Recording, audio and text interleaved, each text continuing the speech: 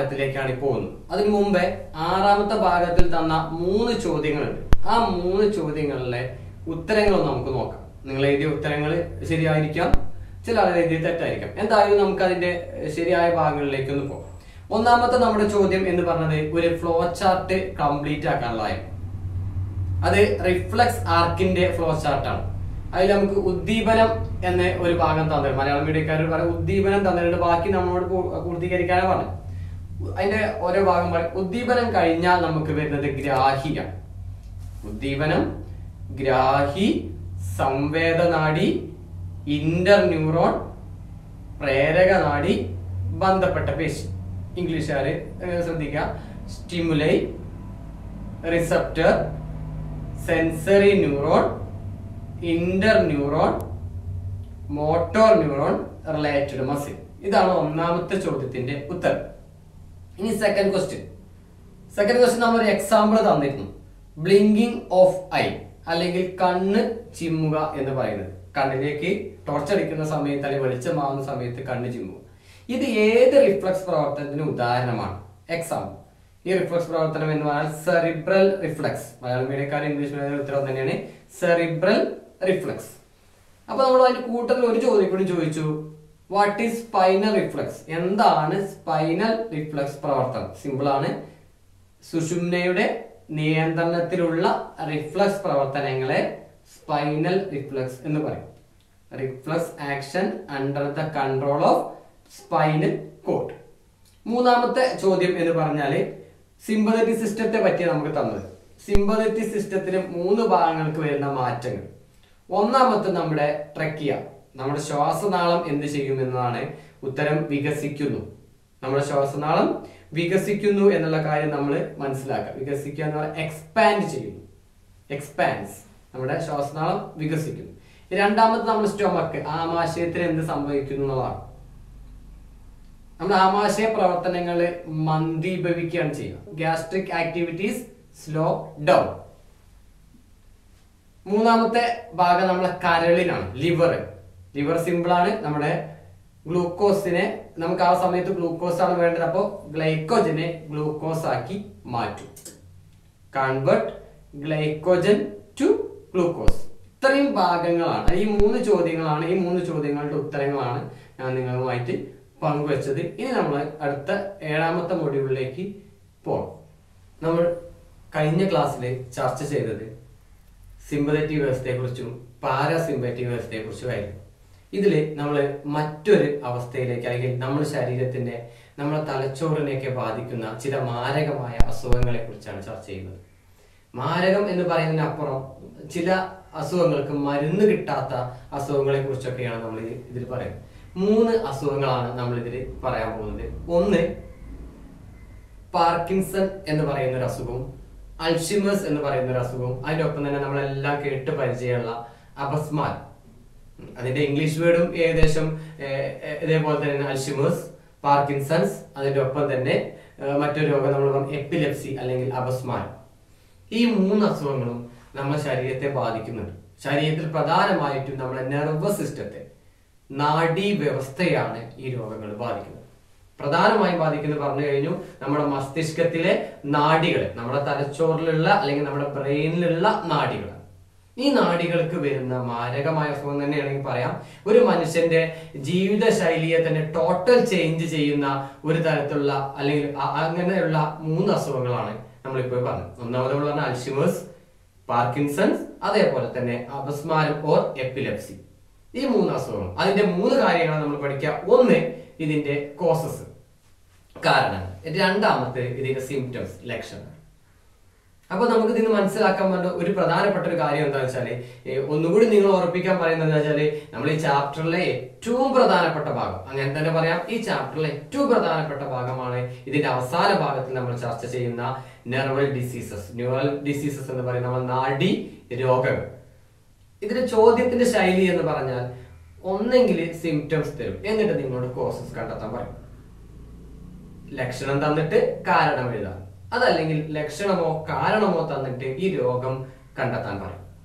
ഇതിന്റെ രീതി പറഞ്ഞാൽ മൂന്ന് മാർക്കിനോ അല്ലെങ്കിൽ രണ്ട് മാർക്കിനോ ഉള്ള ചോദ്യങ്ങളാണ് ഏറ്റവും കൂടുതലായിട്ട് ഇത് കണ്ടിട്ടുള്ളത് വളരെ വളരെ സിമ്പിൾ ആയിട്ടുള്ള ഭാഗമാണ്. നമ്മൾ കണ്ടറിഞ്ഞ ലക്ഷണങ്ങളും നമ്മൾ കേട്ടറിഞ്ഞ ലക്ഷണങ്ങളും തന്നെയാണ് സിംറ്റംസ് തന്നെയാണ്. പക്ഷെ കുറച്ച് പേരുകൾ മാത്രം ഒരു മാറ്റം പുതിയ പുതിയ പേരുകളാണെന്നേ ഉള്ളൂ. പക്ഷെ അപസ്മാരം എല്ലാവർക്കും പരിചയമുള്ള ഒരു തരം രോഗമായിരിക്കും എപ്പിലെപ്സി. അപ്പോൾ ഈ ക്ലാസ്സിലേക്കാണ് ഇനി നമ്മൾ കടക്കുന്നത്. ഈ ചാപ്റ്ററിന്റെ അവസാനത്തെ ഭാഗമാണെന്ന് ഓർക്കുക. ഒന്നാമത്തെ പാഠത്തിന്റെ അവസാന ഭാഗമാണ് നമ്മൾ ഇനി ഇതിൽ ചർച്ച ചെയ്യാൻ പോകുന്നത്. അപ്പോൾ എല്ലാവരും ക്ലാസ്സിലേക്ക് എത്തുക. നോക്കുക. മൂന്ന് രോഗങ്ങളെ പറഞ്ഞല്ലോ. അപ്പോൾ ആ മൂന്ന് രോഗങ്ങൾ ആദ്യം ഇതിന്റെ പേരെന്നാണ് പഠിക്കുക. അൽഷിമേഴ്സ് പാർക്കിൻസൺസ് അപസ്മാരം. Alzheimer's Parkinson's epilepsy. ഇതിന്റെ ഇപ്പുറത്തിന്റെ കാരണവും കാണാം ലക്ഷണവും കാണാം. കോസസും ആൻഡ് സിംറ്റംസ് എളുപ്പമാണ് കേട്ടോ നമ്മളിങ്ങനെ കണ്ടറിഞ്ഞ കാര്യങ്ങളേ ഉള്ളൂ. പക്ഷെ നമ്മളിത് രോഗത്തിനെ പറ്റി പഠിച്ച വളരെ എളുപ്പമാണ് അപ്പോൾ നമുക്ക് ആദ്യം അൾഷിമേഴ്സ് നോക്കാം. അതിന്റെ കോസസും കാണാം. കാരണം നോക്കിയോളി ഒന്നാമത്തതിന്റെ കാരണം മസ്തിഷ്കത്തിലെ നാഡീകലകളിൽ അലേയമായ ഒരു തരം പ്രോട്ടീൻ അടിഞ്ഞുകൂടുന്നു. കണ്ട? Accumulation of and insoluble protein in the neural tissue of the brain പറയുമ്പോൾ വലിയ വാക്കാണ് പക്ഷെ പേടിക്കണ്ട. അതായത് നമ്മളെ എവിടെയെങ്കിലും നമ്മളൊരു വീട്ടിലേക്കുള്ള പൈപ്പിന്റെ ഉള്ളിൽ എന്തെങ്കിലും ചളി കുടുങ്ങിക്കഴിഞ്ഞാൽ നമുക്ക് മനസ്സിലാക്കാൻ പറ്റും അതിലൂടെ പിന്നെ വെള്ളം വരില്ല അപ്പം മസ്തിഷ്കത്തിൽ ഇതേപോലെ പോകുന്ന കുറേ പൈപ്പുകളുണ്ട്. അങ്ങനെ ആ പൈപ്പ് നാടി കലകളാണ് വിചാരിക്കുക. ആ കലകളിൽ എന്തെങ്കിലും ഒരു കുറേ പ്രോട്ടീൻ ഉണ്ട്. നമ്മുടെ ശരീരത്തിൽ പ്രോട്ടീൻ രക്തം പോകണോടത്തൊന്നും കട്ട പിടിച്ചാൽ എന്താ ഉണ്ടാവുക അതിലൂടെ പിന്നെ രക്തം പോകൂലല്ലോ. അപ്പോൾ നമ്മൾ ശരീരത്തിലെ ആ നാഡീ കലകളിലെ മസ്തിഷ്കത്തിലെ നാഡീ കലകളിലെ പ്രോട്ടീൻ കട്ടയായാൽ അലേയം ഇൻസോളിബിൾ കട്ടയായി കഴിഞ്ഞാൽ അപ്പോൾ പ്രോട്ടീൻ അവിടെ അടിഞ്ഞുകൂടും അക്യുമുലേറ്റ് ചെയ്യപ്പെടും. അപ്പോൾ എന്താ ഉണ്ടാവുക നമ്മുടെ ന്യൂറോണുകൾ നശിക്കും. ന്യൂറോൺസ് ഗെറ്റ് ഡിസ്ട്രോയിഡ് അപ്പോൾ നമ്മൾ ന്യൂറോൺ പോയില്ലേ? ന്യൂറോൺ പോയ പിന്നെ പ്രവർത്തനമില്ല അപ്പോൾ നമുക്ക് എന്താ ഉണ്ടാവുക ഒന്നാമത്തെ പ്രശ്നം കേവല ഓർമ്മകൾ പോലും ഇല്ലാതാവും. ലോസ് ഓഫ് മെമ്മറി രണ്ടാമത്തോ കൂട്ടുകാരെയും ബന്ധുക്കളെയും തിരിച്ചറിയാൻ കഴിയാതെ വരിക. Inability to recognise friends and relatives അടുത്തതോ ദിനചര്യങ്ങൾ പോലും ചെയ്യാൻ കഴിയാതെ വരിക.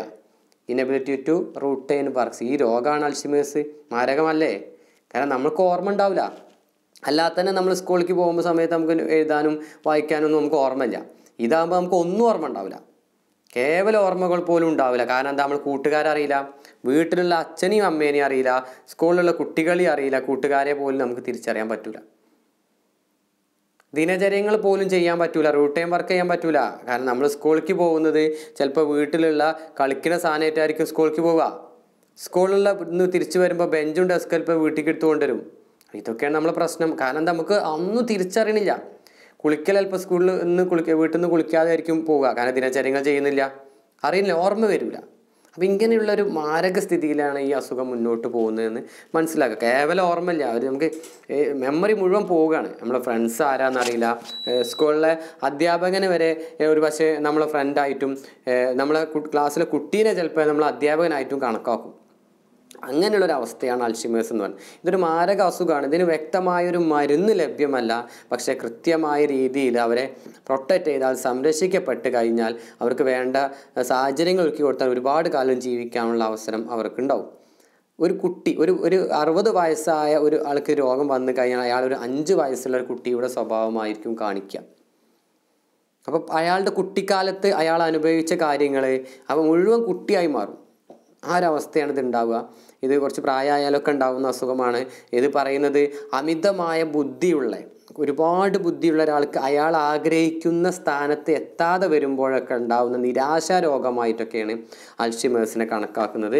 അപ്പോൾ protein അടിഞ്ഞുകൂടുകയും accumulate the insoluble protein in neural tissue of the brain and neuron get destroyed ഇതാണ് ഇത് അൾഷിമേഴ്സ് എന്ന് പറയുന്ന അസുഖം നോക്കുക. ഇതിന്റെ ലക്ഷണവും കാരണവും നേരത്തെ പറഞ്ഞു. വളരെ പ്രധാനപ്പെട്ടത് എന്ന് പറഞ്ഞാൽ ഈ പാഠത്തിലെ ഏറ്റവും പ്രധാനപ്പെട്ട ഭാഗമാണ് എന്നുള്ളതുകൊണ്ട് നന്നായിട്ട് ശ്രദ്ധിക്കുക. കാരണവും ലക്ഷണവുമാണ് പറഞ്ഞത്. ഇനി രണ്ടാമത്തെ രോഗം. ഈ പേര് തന്നെ ഉണ്ട് പാർക്കിൻസൺസ്. പാർക്കിൻസൺസ്. പുതിയൊരു രോഗമാണ്. ഇതിനുള്ള കാരണം മസ്തിഷ്കത്തിലെ പ്രത്യേക ഗാംഗ്ലിയോണുകളുടെ നാശം. Destruction of specialised ganglions in the brain അപ്പോൾ എന്താ ഗാംഗ്ലിയോണ് നമ്മൾ കേൾക്കാത്തൊരു വാക്കാണ്. ആക്സോണുകളുടെ കൂട്ടാണല്ലോ എന്ത്? ഗാംഗ്ലിയോണ് ഇത്രേ ഉള്ളൂ. ഗാംഗ്ലിയോ എന്ന് വെച്ചാൽ ആക്സോണുകളുടെ കൂട്ടം. ഒരുപാട് ആക്സോണുകൾ ഇപ്പോൾ നമുക്ക് ഒരുപാട് ആക്സോണുകൾ കൂടി ചേർന്ന ഗാംഗ്ലിയോണായി മാറി. അപ്പോൾ എന്താണ്? ആക്സോൺ എന്നുള്ളത് നമ്മൾ മുമ്പ് പറഞ്ഞിട്ടുണ്ട്. അപ്പോൾ കുറേ ആക്സോണുകളുടെ കൂട്ടത്തെയാണ് നമ്മൾ അല്ലെങ്കിൽ കുറേ നാടികൾ ചേർന്ന് നാഡീകോശം കുറേ ചേർന്നാൽ ഗാംഗ്ലിയോണായി മാറി. അപ്പോൾ ആ മസ്തിഷ്കത്തിലെ ഗാംഗ്ലിയോൺ നശിക്കാറുള്ള കുറേ നാടികൾ നശിച്ചു എന്നാണ് അതിന്റെ അർത്ഥം. അതിന്റെ ഒപ്പം എന്താ? തലച്ചോറിലെ ഡോപ്പമിൻ എന്ന നാടീയ പ്രേഷകത്തിന്റെ ഉൽപ്പാദനം കുറയുക. ഇവിടെ കാണാം. Production of the dopamine a neurotransmitter in the brain get reduced. അപ്പോൾ ഈ ഡോപ്പമിൻ നമ്മൾ മുമ്പ് പഠിച്ചതാ. ഡോപ്പമിൻ എന്താ? ഒരു ന്യൂറോ ട്രാൻസ്മിറ്റർ ആണ് ഒരു നാടിയ പ്രേഷകമാണ് കാരണം നമ്മൾ വേഗത്തിലുള്ള പ്രതികരണം കിട്ടണമെങ്കിൽ ഡോപ്പമിൻ വേണം. ഇയാളെ സംഭവിച്ച ഡോപ്പമിൻ കുറഞ്ഞു. കുറഞ്ഞാൽ പിന്നെ അയാൾക്ക് പ്രതികരണം ഉണ്ടാവില്ല. ഡോപ്പമിൻ എന്ന നാഡീപ്രേഷകത്തിന്റെ ഉൽപ്പാദനക്കുറവും മസ്തിഷ്കത്തിലെ പ്രത്യേക ഗാംഗ്ലിയോണുകളുടെ നാശവും ഇതാണ് എന്ത് പാർക്കിൻസൺ രോഗത്തിന് കാരണം. അപ്പോൾ നമുക്ക് ഇതിന് ലക്ഷണം ഉണ്ടാവുമല്ലോ? എന്താണ് രോഗത്തിന് പ്രശ്നം ഉണ്ടാവുക? ശരീരത്തിന്റെ തുലനനില നഷ്ടപ്പെടും. ലോസ് ഓഫ് ബോഡി ബാലൻസ് കാരണം എന്താ? പേശികളുടെ ക്രമരഹിതമായ ചലനാണ്. കാരണം irregular movement irregular movement of muscle അപ്പോൾ നമ്മൾ പേശി കൃത്യമായിട്ട് പ്രവർത്തിക്കാത്തത് കൊണ്ട് തന്നെ അയാളുടെ ശരീര തുലനും നഷ്ടപ്പെടും. അപ്പോൾ അയാൾ ഈ മദ്യപിച്ച ആൾക്കാരെ പോലെ ആയിരിക്കും. ഈ നമ്മൾ കൃത്യമായിട്ടും വളവിട്ട് വളവിട്ട് വളഞ്ഞ് വളഞ്ഞ് വളഞ്ഞ് വളഞ്ഞായിരിക്കും അയാൾക്ക് നടക്കുക. കാരണം അയാളെ സംബന്ധിച്ചോളം അയാളുടെ പേശികൾ വേണ്ട രീതിയിൽ പ്രവർത്തിക്കുന്നില്ല. അപ്പോൾ അയാൾ തുലനം നഷ്ടപ്പെട്ട് അയാൾ വീണു പോകാനുള്ള ചാൻസ് പാർക്കിൻസിനുണ്ട്. രണ്ടാമത്തെ അതിന്റെ പ്രശ്നം ശരീരത്തിനുണ്ടാകുന്ന വിറയലാണ്. Shivering of the body shivering of the body അയാൾ ശരീരം വിറയും. പിന്നെന്താണ്? വായിൽ നിന്ന് ഉമിനീര് വരിക. പ്രൊഫ്യൂസ് സലൈവേഷൻ അപ്പോൾ നമുക്ക് ആലോചിച്ച് നോക്കാം ഒരു ആ ഈ വിറയിൽ പറഞ്ഞ ഒരാൾക്ക് ഈ പാർക്കിൻസ് രോഗമുള്ള ആൾക്ക് ചായ ഒരു ഗ്ലാസ്സിൽ ഒഴിച്ചാൽ ആ ഗ്ലാസ് പിടിക്കാൻ പോലും പറ്റൂല കാരണം കൈ കടന്ന് ഇങ്ങനെ വിറയ്ക്കും. ബട്ടൺസ് ഇടാൻ പറ്റൂല. ബട്ടൺസ് ഇടാൻ പറ്റൂല എന്ന് പറഞ്ഞാൽ അയാൾ ബട്ടൺസ് ഇടാൻ വിചാരിച്ചാലും കൃത്യമായ ആ ബട്ടൺസിന്റെ ഹോളിലേക്ക് ഇത് ഇറങ്ങി പോവില്ല ബട്ടൺസ് പോവില്ല. കാരണം കൈ കടന്ന് ഇങ്ങനെ വിറച്ചുകൊണ്ടിരിക്കുകയായിരിക്കും അത്രയും പ്രശ്നമാണ് ഈ രോഗം. വായിൽ നിന്ന് ഉമിനീര് ഒഴുകുക. അപ്പോൾ നമ്മൾ ഈ കുട്ടികളെ തേൻ ഒലിക്കണ പോലെ വായിൽ നിന്ന് ഇങ്ങനെ വെള്ളം വന്നുകൊണ്ട് നിൽക്കും. അപ്പോൾ നമ്മളിതിന്റെ പ്രശ്നം എന്താണെന്ന് വെച്ചാൽ നമുക്ക് പൊതുനിരത്തിൽ ഇറങ്ങിയാൽ പൊതുവഴിയിലോ അല്ലെങ്കിൽ പൊതുസ്ഥലത്തൊന്നും ഇറങ്ങി നടക്കാൻ പറ്റില്ല. കാരണം പെട്ടെന്നായിരിക്കും രോഗം ബാധിക്കുക. അപ്പോൾ നമുക്കുണ്ടാവുന്ന സംഭവങ്ങളാണുള്ളത്. അതുകൊണ്ട് അത് നമുക്ക് ഒരു ഒരു വീട്ടിന്റെ ഉള്ളിൽ തന്നെ ഒതുങ്ങി നിൽക്കുന്ന രീതിയിലുള്ള രോഗമായി മാറും പാർക്കിൻസ്. ഇതിനും നമ്മൾ നല്ല ട്രീറ്റ്മെന്റ് ഇല്ല. പക്ഷേ ഈ ഡോപ്പമിൻ എന്ന നാഡീയ പ്രേഷകം ഇങ്ങനെ ഇഞ്ചെക്ട് ചെയ്ത് കൊടുത്താൽ കുറച്ചൊരു മാറ്റം ഉണ്ടാവും. എന്നാലും പൂർണമായിട്ട് മാറാത്തൊരു അസുഖമാണ് പാർക്കിൻസൺ എന്ന് പറയുന്നത്. ശ്രദ്ധിക്കുക കാരണം ആ പേഷ്യന്റ് എപ്പോഴും എവിടെയും മറിഞ്ഞു വീഴാൻ ചാൻസ് ഉണ്ട്. അതുകൊണ്ട് ആ പേഷ്യന്റിനെ എപ്പോഴും നമ്മൾ കെയർ ചെയ്ത് കൊണ്ടുപോവുക അതാണ് പാർക്കിൻസൺ എന്ന് പറയുന്നത്. അടുത്ത അസുഖം നമ്മളൊക്കെ കേട്ടിട്ടുണ്ടാവും. അപസ്മാരം അല്ലെങ്കിൽ എപ്പിലെപ്സി അപ്പോൾ ഇത് കണ്ടാൽ നമ്മൾ വിചാരിക്കും ഭ്രാന്താണോ എന്ന് അല്ല അപസ്മാരും ഭ്രാന്തും തമ്മിൽ വളരെയധികം മാറ്റമുണ്ട്. എപ്പിലെപ്സിയും നമ്മളെ ഭ്രാന്തും തമ്മിൽ നല്ല മാറ്റമുണ്ട്. അപസ്മാരം പലതരത്തിലുണ്ട്. കുട്ടികൾക്ക് വരുന്ന അപസ്മാരമുണ്ട് മുതിർന്ന ആളുകൾക്ക് വരുന്ന അപസ്മാരമുണ്ട്. കുട്ടികൾക്ക് വരുന്ന ചില അപസ്മാരങ്ങൾ വളരെ പെട്ടെന്ന് തന്നെ നാലര വയസ്സോടുകൂടി പൂർണമായിട്ടും ഭേദമാവും. എന്നാൽ ചില സമയത്ത് കുട്ടികൾക്ക് ഈ അപസ്മാരം മാറൂല. അങ്ങനത്തെ കുട്ടികൾക്ക് നമ്മൾ ട്രീറ്റ്മെന്റ് എടുക്കണം. പ്രായം കൂടിയാൽ അപസ്മാരം വരാനുണ്ട്. അപ്പോൾ പല രീതിയിൽ അപസ്മാരങ്ങൾ വരാം. എപ്പിലെപ്സികൾ വരാം. അപ്പോൾ എപ്പിലെപ്സി അല്ലെങ്കിൽ അപസ്മാരം എന്ന് പറഞ്ഞ ഒരു മാരക അസുഖമായിട്ട് നമ്മൾ കണക്കാക്കണ്ട. എന്നാൽ ഇത് മാരകമാണാനും കൃത്യമായ ചികിത്സ കൊടുത്തിട്ടില്ലെങ്കിൽ അത് മാരകമായിട്ട് മാറും. ഇതിന് കാരണം തലച്ചോറിൽ തുടർച്ചയായ ക്രമരഹിതമായ വൈദ്യുതി പ്രവാഹമാണ് നമ്മൾ മുമ്പ് പറഞ്ഞിട്ടുണ്ട് ഈ ആവേഗം എന്ന് പറഞ്ഞാൽ പോസിറ്റീവും നെഗറ്റീവും ചാർജുള്ള ഇലക്ട്രിക് കറണ്ടാണ് അപ്പോൾ ഇത് എന്ത് ചെയ്യും? വൈദ്യുതി നോർമലിൽ പോകില്ല positive positive positive positive positive അങ്ങനെ പോകും നെഗറ്റീവ് അതിന്റെ ഇടയിൽ എപ്പോഴെങ്കിലും വന്നാൽ വന്നു. ക്രമമില്ലാത്ത വൈദ്യുതി തലച്ചോറിനുള്ളിൽ എന്ത് ചെയ്യും? പ്രവഹിക്കുന്നതാണ് അപസ്മാരം അല്ലെങ്കിൽ എപ്പിലെപ്സിക്ക് കാരണം. Continuous and irregular flow of electric charges in the brain കണ്ട? നമ്മുടെ ബ്രെയിനിൽ ഇലക്ട്രിക് ചാർജസ് ഇറഗുലറായിട്ട് ഫ്ലോ ചെയ്യാം. അങ്ങനെ ചെയ്താൽ നമുക്ക് ഉണ്ടാകുന്നത് തുടരെ തുടരെയുള്ള പേശി സങ്കോചം മൂലമുള്ള സന്നി. സന്നി എന്ന് പറഞ്ഞാൽ ഒന്നുമില്ല. അതിന്റെ ഈ അപസ്മാരത്തിന്റെ മറ്റൊരു വയസ്സായ ഉണ്ടാവുന്ന പേരാണ്. അപസ്മാരത്തിന് വയസ്സായ സന്നി ഉണ്ടാവും. അപ്പോൾ അപസ്മാരത്തിന് വയസ്സ് രൂപത്തിൽ നമ്മൾ പറഞ്ഞാൽ സന്നി. എപ്പിലെപ്സി ഡ്യൂ ദ ഇതിൽ കാണാം. Muscular contraction of the fro muscular contraction സിമ്പിളായിട്ട് പറഞ്ഞാൽ പേശികൾ സങ്കോചിക്കും. കോച്ചിപ്പിടുത്തം എന്നൊക്കെ പറഞ്ഞ പോലെ പേശികൾ ഒന്നും കണ്ട് സങ്കോചിക്കുകയാണ് ചെയ്യുക രണ്ടാമത്തെ നമ്മൾ കണ്ട ലക്ഷണങ്ങൾ തന്നെയാണ്. വായിൽ നിന്ന് നുരയും പതയും വരിക. Frothy discharge from the mouth വായിൽ നിന്ന് നുരയും പതയും വരിക. നമ്മൾ കണ്ടിട്ടുണ്ടാവും. പിന്നെ പല്ല് കടിച്ചു പിടിക്കുക. ക്ലെൻജിങ് ഓഫ് ടീത്ത് പല്ല് കടിച്ച് പിടിക്കുക. ഇങ്ങനെ പല്ല് പിടിച്ച് കടിച്ചു പിടിച്ച് കഴിഞ്ഞാൽ തുടർന്ന് കണ്ടിന്യൂസ് ആയിട്ട് എന്തെങ്കിലും രോഗി അബോധാവസ്ഥയിലായി മാറും. Following which the patient falls unconscious അപ്പോൾ ആദ്യം പേശികൾ സങ്കോചിക്കും പിന്നെ വായയിൽ നിന്ന് നുരയും പതയും വരും ഫ്രോത്തി ഡിസ്ചാർജ് വരും പിന്നെ കല്ല് കടിച്ച് പല്ല് കടിച്ചു പിടിക്കും തുടർന്ന് ആ രോഗി എന്ത് ചെയ്യും? അബോധാവസ്ഥയിലേക്ക് മാറും. ഇതാണ് അപസ്മാരം. അപ്പോൾ നമുക്ക് ആ അതിന്റെ അർത്ഥം മരിച്ചു എന്നല്ലല്ലോ. അപ്പോൾ അയാൾക്ക് അതിന് ട്രീറ്റ്മെന്റ് കൊടുത്തു കഴിഞ്ഞാൽ ഇതിന്റെ രക്ഷ നേടാൻ പറ്റും. ആ അബോധാവസ്ഥയിൽ ആൾ ഒരു പത്തോ പതിനഞ്ചോ മിനിറ്റ് കഴിഞ്ഞ് എണീക്കും. എണീച്ച് കഴിഞ്ഞാൽ അയാൾക്ക് പിന്നെ ആ രോഗം ഉണ്ടാവില്ല. അപ്പോൾ അതാണ് അപ്പോൾ പെട്ടെന്ന് വരാൻ ചാൻസ് ഉള്ള ഒരു രോഗമാണ് എന്നല്ല അപ്പോൾ ട്രീറ്റ്മെന്റ് കൃത്യമായിട്ട് എടുക്കുകയാണെങ്കിൽ ഒരിക്കലും അപസ്മാരം പിന്നെ ഉണ്ടാവില്ല കൃത്യമായ ശൈലിയിലൂടെ നമുക്ക് ഉണ്ടായി രക്ഷ ഈ രോഗത്തിൽ രക്ഷ നേടാനായിട്ടും പറ്റും. അപ്പോൾ മൂന്ന് നാഡീ രോഗങ്ങളും അതിന്റെ കാരണവും ലക്ഷണവുമാണ് നമ്മൾ പറഞ്ഞത് അൾഷിമേഴ്സ് പാർക്കിൻസൺ അപസ്മാരം. നമുക്ക് ഈ ചോദ്യം എന്ന രീതിയിൽ നോക്കാം അപ്പോൾ അൾഷിമേഴ്സിനെ പറ്റി നമ്മൾ ഉത്തരം വരുമ്പോൾ ചോദിക്കുക. ഒരു ചോദ്യം ഇങ്ങനെ ചിലപ്പോൾ. ദിനചര്യങ്ങൾ പോലും ചെയ്യാൻ കഴിയാതെ വരിക.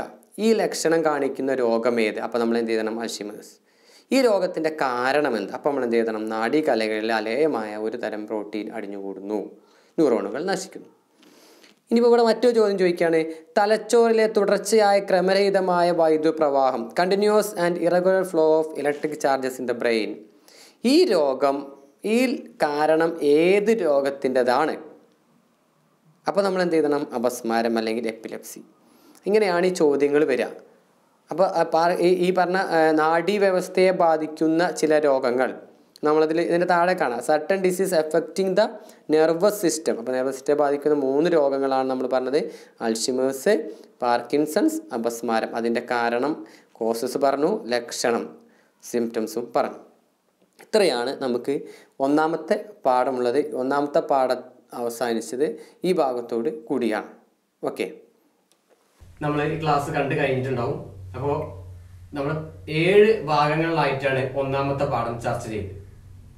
ഏഴ് ഭാഗങ്ങളിൽ നമ്മൾ ആദ്യം മുതൽ അവസാനം വരെ ഈ പാഠത്തിന്റെ തുടർച്ച തുടർച്ചയായിട്ടാണ് പോയത്. തുടക്കം മുതൽ അവസാനം വരെയാണ് പോയത്. അല്ലെങ്കിൽ നടുവിൽ വെച്ചിട്ടോ അങ്ങനെയല്ല. അതുകൊണ്ട് പ്രത്യേകം ശ്രദ്ധിക്കേണ്ടത് ഒന്നാമത്തെ ഭാഗവും രണ്ടാമത്തെ ഭാഗവും മൂന്നാമത്തും നാലും അഞ്ചും ആറും നിർബന്ധമായിട്ട് കാണണം. അപ്പോഴേ നമുക്ക് ഏഴിനെ കുറിച്ച് നിങ്ങൾക്ക് കാര്യമായിട്ട് മനസ്സിലാവുള്ളൂ. ഒറ്റ ഭാഗം കണ്ടിട്ട് ആ പാഠത്തെ തീരുമാനിക്കുകയല്ല ചെയ്യേണ്ടത്. അപ്പോൾ ഈ സെൻസേഷൻ റെസ്പോൺസസ് അറിയാനും പ്രതികരിക്കാനും എന്നുള്ള എട്ട് മാർക്കിന് വരുന്ന നമ്മുടെ ബയോളജിയിലെ ഒന്നാമത്തെ പാഠം ഇവിടെ അവസാനിക്കുകയാണ്. ഇനി ഇതിന്റെ നോട്ട് വേണ്ടവർ നിങ്ങളുടെ മെയിൽ ഐ ഡി കമന്റ് ചെയ്ത് കഴിഞ്ഞാൽ അതിലേക്ക് നിങ്ങൾ നോട്ട് എത്തിക്കുന്നതാണ്. ചോദ്യങ്ങൾ തന്നിട്ടുണ്ട് അതിന് കൃത്യമായ ഉത്തരങ്ങൾ നിങ്ങൾ എഴുതി അറിയിക്കുകയും വേണം. അപ്പൊ ഇതിനെ ഈ പാഠത്തിൽ വളരെ നമ്മൾ മനസ്സിലാക്കി ചുരു അവസാനിപ്പിക്കാൻ ഒരു ചെറിയ കാര്യം നിങ്ങളോട് പറയാണ്. നമ്മുടെ മൂന്ന് ചിത്രങ്ങൾ വളരെയധികം ശ്രദ്ധിക്കണം മൂന്ന് ഡയഗ്രംസ് നമ്മൾ ആദ്യം ചർച്ച ചെയ്ത നാഡീകോശത്തിന്റെ ചിത്രം രണ്ടാമത്തെ ബ്രെയിൻ തലച്ചോറിന്റെ ചിത്രം മൂന്നാമത്തെ സ്പൈനൽ കോഡ് നമ്മുടെ സുഷുമ്നയുടെ ചിത്രം. ഈ ചിത്രത്തിലെ ഏതെങ്കിലും ഒന്ന് തന്നെ ആയിരിക്കും നമ്മൾ എസ് എൽ സി പരീക്ഷയ്ക്ക് ഏറ്റവും കൂടുതൽ വരാൻ സാധ്യതയുള്ളത്. അതേപോലെ തന്നെ സിംബൽ സിസ്റ്റം പാരാസിംബൽ സിസ്റ്റം വളരെ നന്നായി ശ്രദ്ധിക്കണം.